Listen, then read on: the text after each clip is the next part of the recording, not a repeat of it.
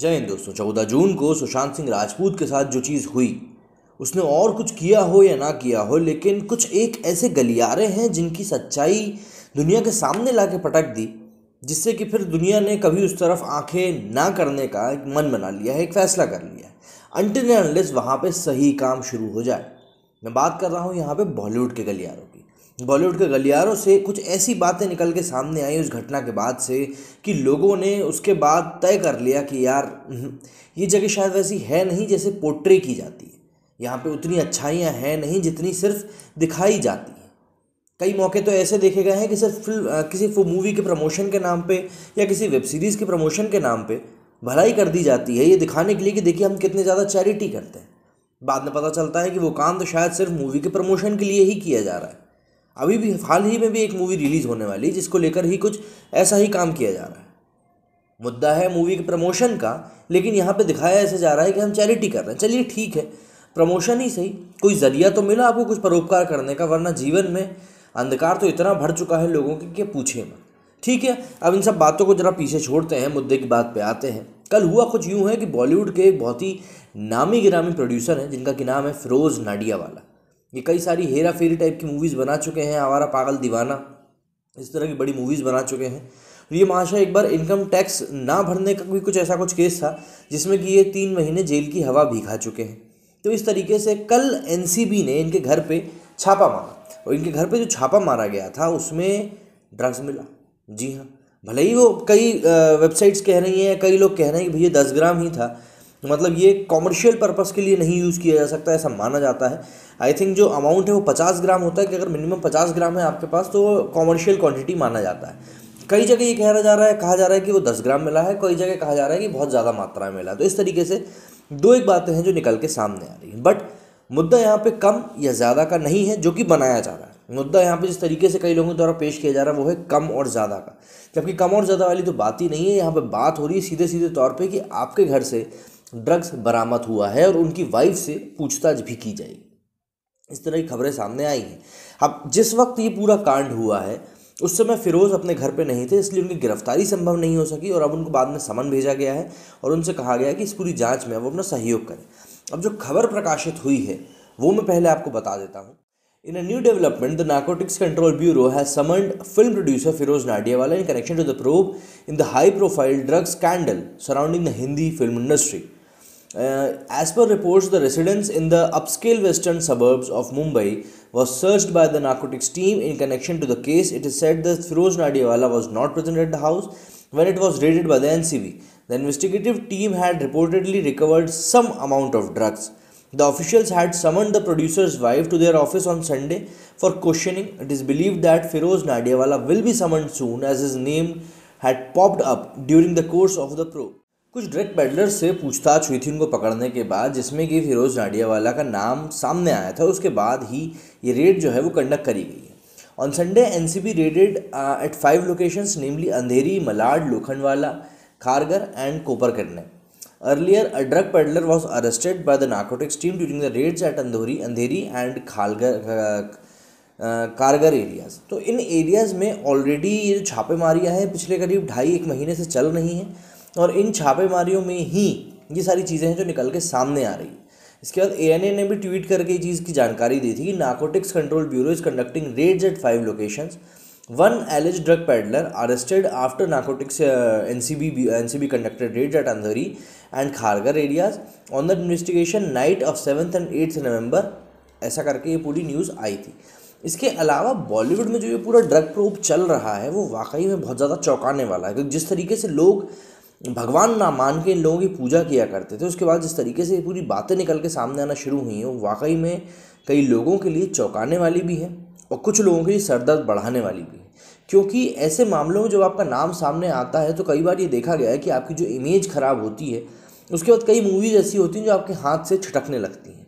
आदि पुरुष का एक बहुत बड़े प्रोजेक्ट वाली मूवी है, जिसमें कि प्रभास, भगवान राम किरदार जहाँ तक निभाने वाले हैं। इसके अलावा कयास ये लगाया जा रहा था कि इसी एक मूवी में दीपिका पादुकोण भी सीता का रोल निभाते हुए नज़र आने वाली। लेकिन अब कुछ समय पहले जो खबर निकल के सामने आई स्पॉट बॉय में प्रकाशित हुई थी, उसमें लिखा था कि दीपिका पादुकोण अब ये मूवी नहीं कर रही हैं, बल्कि कोई दूसरी एक्ट्रेस का नाम इसके लिए खोजा जा रहा है। अब इसके लिए कारण ये बताया गया कि क्योंकि इस मूवी के ठीक पहले एक और मूवी है, जो दीपिका पादुकोण और प्रकाश प्रभास साध में कर रहे हैं तो ऐसे में दो मूवीज़ बैक टू बैक एक साथ होना ऑडियंस को शायद पसंद नहीं आएगा। जबकि ऐसे हमने पास्ट में कई सारे ऐसे रीजंस देखे हैं कि एक या दो मूवी नहीं, बल्कि कई दसों मूवियाँ एक्टर एक्ट्रेसेस ने बैक टू बैक साथ में करी हैं और ऑडियंस ने उन जोड़ियों को काफ़ी सराहा भी है।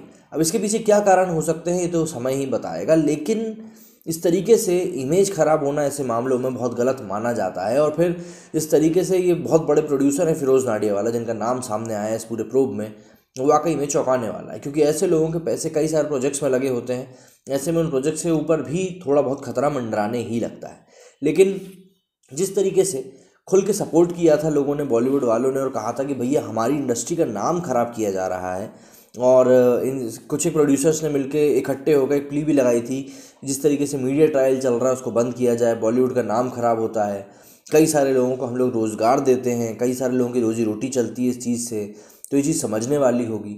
लेकिन अब जिस तरीके से उसी एक ग्रुप में से एक प्रोड्यूसर का नाम निकल के सामने आया है तो ये चीज़ ज़रूर चौंकाने वाली है कि क्या अब वही लोग इनके बारे में भी कुछ कहेंगे?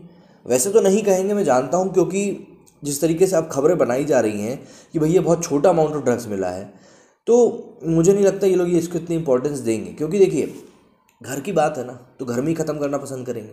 लेकिन मुद्दा यहाँ पे ये नहीं है कि कम मिला है कि ज़्यादा मिला है। मिला तो ना। मिला है इसका मतलब उसको या तो कंज्यूम किया गया है, या तो कंज्यूम किसी और करने के लिए रखा हुआ था, या फिर किसी को देने के लिए रखा हुआ था। ऐसे ही कोई अपने घर में गांजा नहीं लाता। सीधी सिंपल सी बात ये है। बट ये बातें लोगों को समझ में नहीं आती।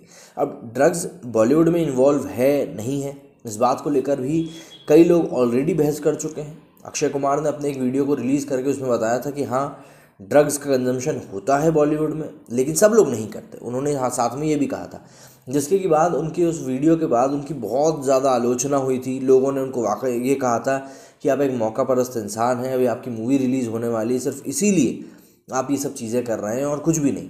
बाद में ये चीज़ भी सामने आई कि वो वीडियो भी वो पढ़ पढ़ के बोल रहे थे तो इस तरह की बातें भी कुछ सामने आई।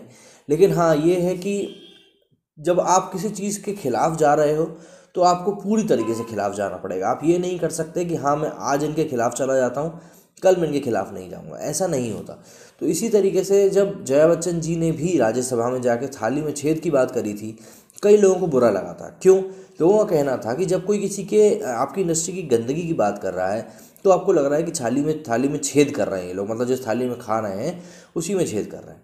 अब जब इतने बड़े नाम निकल के सामने आ रहे हैं तो फिर तो इस हिसाब से वो थाली है ही नहीं, वो तो छन्नी है, जिसमें कि छन के सब कुछ ही नीचे करना है।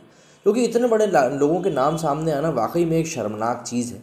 और अगर इंडस्ट्री में ऐसा कुछ है तो जो बॉलीवुड के नामी लोग हैं, जो कि बॉलीवुड में रसूख रखते हैं, जिनकी बात पब्लिक सुनती है, उनको चाहिए कि वो ऐसे समय पे स्टैंड लें और पब्लिक को जागरूक करें इन चीज़ों को लेकर और जो भी आ, कानून से जुड़े हुए लोग हैं जो ऐसी चीज़ों पर नकेल कर सकते हैं उनको भी इस चीज़ के लिए चेताएँ।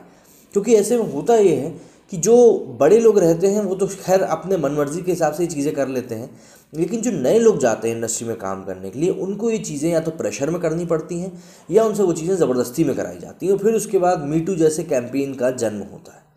तो ऐसे में अगर आप किसी चीज़ को शुरुआत में नहीं रोकेंगे तो उसको बाद में रोकना उतना ही कठिन हो जाता है जितना कि किसी चीज़ को संभालना कठिन हो जाता है। लेकिन ये बात लोगों को समझ में आती नहीं है और चीज़ें यूँ ही चलती रहती हैं। बट इन चीज़ों को समझना बहुत ज़्यादा ज़रूरी है, क्योंकि अगर इन चीज़ों को नहीं समझा गया तो ये चीज़ें आने वाले समय में हमारे लिए बद से बदतर होती जाएँगी। और ऐसा ही कुछ आजकल हमको देखने को ही मिल रहा है हर एक चीज़ में, जिसमें कि धर्म से बच्चे दूर होते जा रहे हैं, संस्कारों से बच्चे दूर होते जा रहे हैं क्योंकि जिन लोगों को आइडलाइज करते हैं, वो यो बॉय बन के घूमते रहते हैं। अब यो बॉय वाला कल्चर हमारे यहाँ तो कभी था ही नहीं, ये तो हिप हॉप कल्चर है जो कि फ़ॉरेन से आया है। अब इसका मतलब ये नहीं क्रॉस कल्चर आप किसी चीज़ को प्रमोट नहीं कर सकते, नहीं। बात यह है कि आप खुद के कल्चर से जुड़े रहें तो आप हर एक कल्चर को आगे बढ़ा सकते हैं। लेकिन अगर आप दूसरों के कल्चर को फॉलो करने के चक्कर में अपना खुद का ही कल्चर छोड़ दें तो उससे ज़्यादा शर्मनाक मुझे नहीं लगता। मेरी नज़रों में कोई एक अच्छी बात हो सकती है। तो इसी तरीके से बॉलीवुड के दिन जो हैं, अभी बद से बदतर चल रहे हैं। एक एक करके नई चीज़ें बाहर आती जा रही हैं। एनसीबी अपनी जाँच आगे बढ़ा रही है। लोगों को पकड़ रही है, हिरासत में ले रही है, पूछताछ कर रही है। पैडलर्स को लगातार पकड़ा जा रहा है। लोगों के नाम लगातार सामने आ रहे हैं। पिछले, अभी कुछ दिनों पहले अर्जुन रामपाल जी के साले हैं, अजीब सा उनका नाम है। उनको भी गिरफ़्तार किया गया था, जिसके बाद दीपिका पादुकोण से पूछताछ हुई थी, श्रद्धा कपूर से पूछताछ हुई थी, सारा अली खान से पूछताछ हुई थी। इन सभी का बिल्कुल गेटअप भी बदला हुआ था, जिस तरीके से एयरपोर्ट लोग ये लोग बताते हैं। एनसीबी लुक भी इन लोगों का देखा कि किस तरीके से एन का लुक इन लोगों ने फ्लॉन्ट किया। इस तरीके से कई सारी चीज़ें हैं, एक दो चीज़ें नहीं हैं जो आम जनता को परेशान कर रही हैं। और जो लोग ये कहते हैं कि भाई, आम जनता को इससे आखिर क्या परेशानी हो रही है तो उनको ये चीज़ समझनी चाहिए कि वो आम जनता का ही पैसा है, जिस पे कि ये लोग बैठ के ऐश करते हैं। अब अगर आम जनता अपना पैसा इन लोगों पे खर्च कर रही है तो भाई एक या दो सवाल पूछने का भी तो हक बनता है ना। तो बस यही सब कुछ चीज़ें हैं जो कि इस समय बॉलीवुड में चल रही हैं, जो कि कहीं से कहीं तक भी सही नहीं है। लेकिन एनसीबी पूरी कोशिश कर रही है कि इन चीज़ों पर अपनी नकेल कस सके। मेरे इस वीडियो में फ़िलहाल इतना ही। उम्मीद करता हूँ जो बात मैं आप तक समझाना, पहुँचाना चाहता था, वो पहुँच गई होगी। जय हिंद, जय भारत।